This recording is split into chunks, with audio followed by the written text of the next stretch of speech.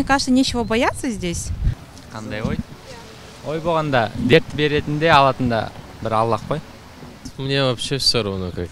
Ну, я не знаю, зачем панику разводить. Недавно был в магазине, там все скупают.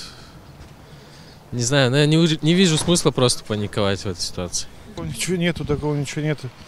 Я не знаю, ну как, ну. Мне кажется, покуда здоров, здоров. У меня нет паники, у меня полное спокойствие, потому что, не знаю, я, если честно, не верю в, эту, в этот вирус.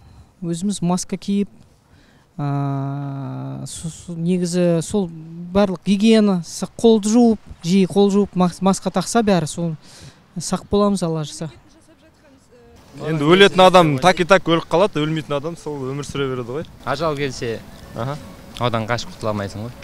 Коронавирус или басқа нәрсе ма А, Смотря новости, я смотрю то, что Казахстан принимает хоть, какие, хоть какие-то меры, то, что это очень радует, а, и я надеюсь, что такие меры нам помогут.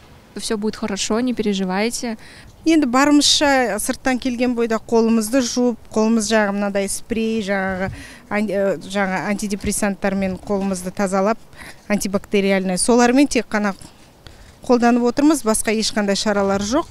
Иә көңіл жүзден шығып жатыр бәрі дайындық бәрі дұрыс сияқты. Енді мүмкіндікше бәрін істеп жатыр бізге уақытында бәрін хабарлап жатыр. Сондықтан дайындық бар деп ойлаймын.